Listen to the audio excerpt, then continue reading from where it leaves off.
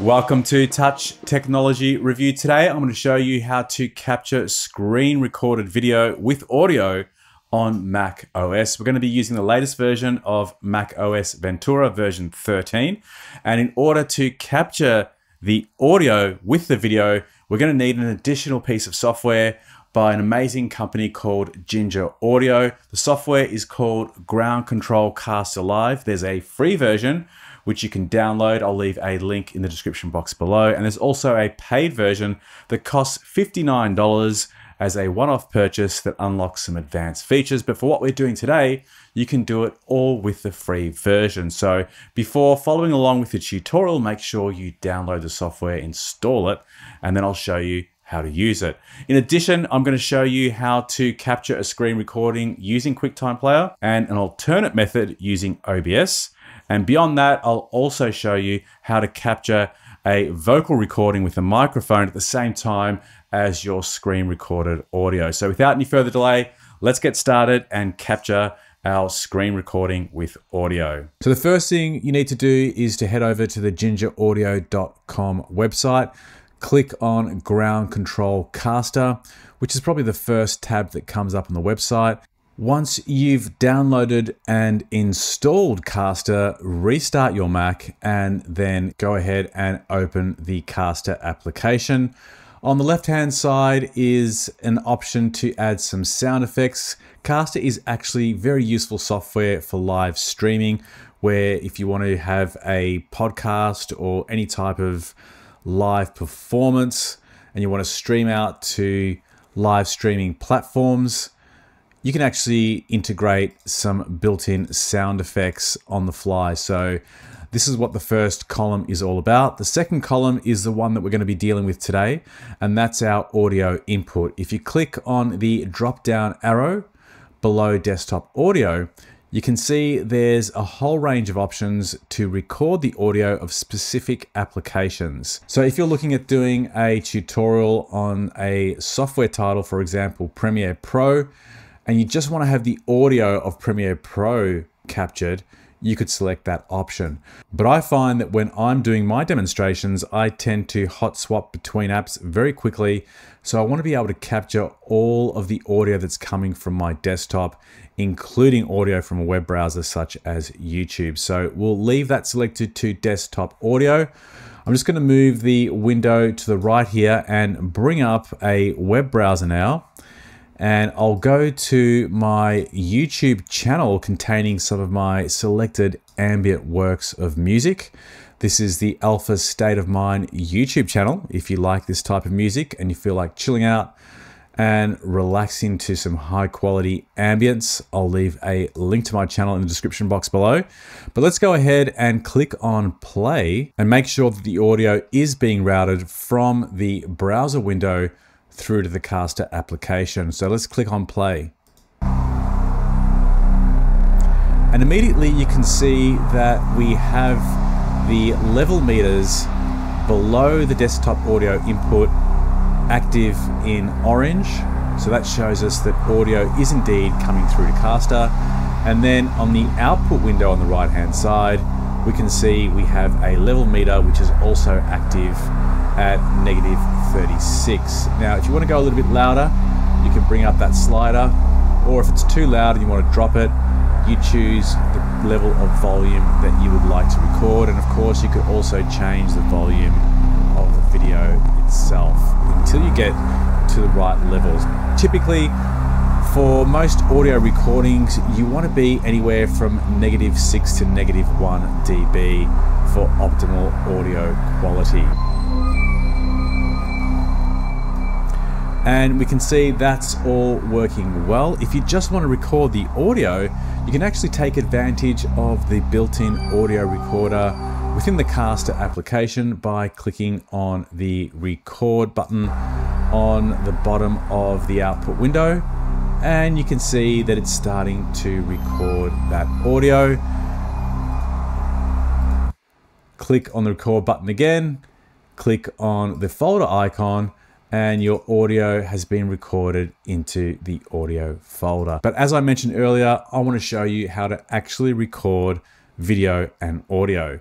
Now there's two different methods you can use. The first one is to take advantage of the built-in QuickTime Player software, which is probably the easiest way to do a screen recording. So to do that, hit the Command and Spacebar and type in QuickTime Player. And then in the File menu, click on New Screen Recording. And in the midsection of the toolbar that appears at the base of the screen, you can either record the entire screen or record a selected portion. So let's say I want to record the entire screen. I'll click on that. I'm then going to click on the options menu and in the sub menu that appears, we're going to go into the microphones section and choose caster and that will now record the audio that we routed through the caster software. I'll go back to the YouTube player, click on play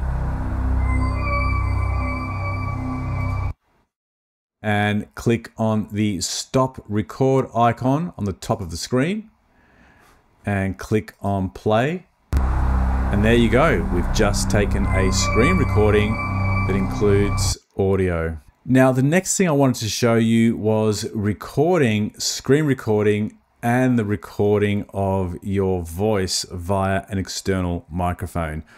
So this is quite common when you're wanting to do a presentation on screen, capture all the screen audio and capture your own recording. So to do that, we're going to take advantage of a, another utility application called Audio MIDI Setup. So to find the application, you can go to your applications utility folder, look for Audio MIDI Setup, or hit the command and spacebar and type in Audio MIDI Setup. We're going to take advantage of the aggregate device feature in Audio MIDI Setup. So to create an aggregate device, click on the plus button icon, click on Create Aggregate Device, and now we have all of the available audio inputs listed in the middle of the screen. If you have a USB microphone connected, if you have an audio mixer or any other audio devices, they'll appear in this screen.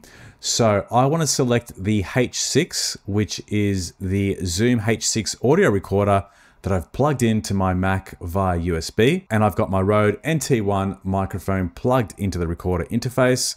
So that's going to capture the vocal recording. And now I'm going to select caster. So in the aggregate device, we have two audio inputs, the H6 and the caster screen recording.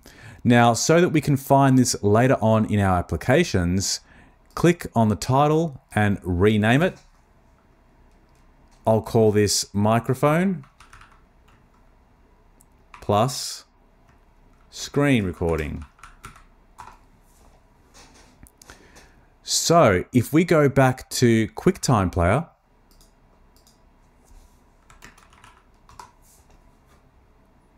click on File, New Screen Recording, select either the entire screen or selected portion, whichever you prefer.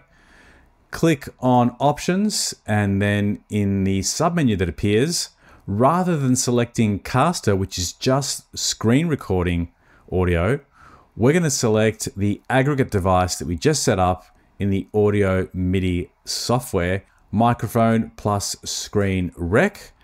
And now when I hit record, we'll be able to record both the audio music that's playing right now in the background, plus the audio that I'm recording via this microphone. And now the final method for screen recording is to actually use OBS, which is also free software. OBS is otherwise known as Open Broadcast Software. It's available for Windows, Mac OS, and Linux. So go ahead and click on Mac OS to download the free Mac version. Once you've done so, open OBS and you should see the main interface that you're seeing on screen right now. So in order to create a screen recording that captures both the screen video and the audio of my microphone as well, there's going to be three inputs. We're going to create a scene and I'm going to call this screen recording. Click on the screen recording scene so that it's highlighted in blue. And then on the right hand side, we're going to click on the plus button to add an object to that scene. We're going to start with the Mac OS screen capture and we're going to click on OK. And we'll leave the defaults to display capture and the built-in retina display. If you have a MacBook Pro or different type of Mac, you might see a different resolution here. Just click on OK there. And now we're going to click on the plus button and add an audio input capture. And I'm going to call this microphone.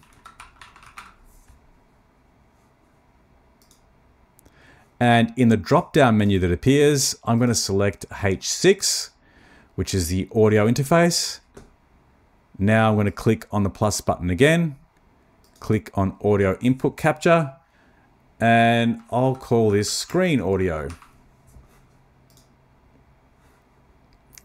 And in the drop down menu that appears, I'll select caster, and this is going to use caster to route the audio from the screen activity on my Mac. So whether I'm playing a video on a web browser or if I'm playing back audio on a music application that I'm demonstrating, Caster will pick up that audio and route it through to OBS. So now we have an OBS scene that includes my screen audio, my microphone, and also my Mac OS screen recording being captured all at once. You can click on start streaming and set up stream keys if you want to stream that out to Twitch or YouTube. Or if you just want to create a video as I'm doing right now, click on start recording, go through your demonstration. Everything you're doing on screen, including the video and audio, will be captured through OBS. Click on stop recording once you've completed it and your video file will be available for editing.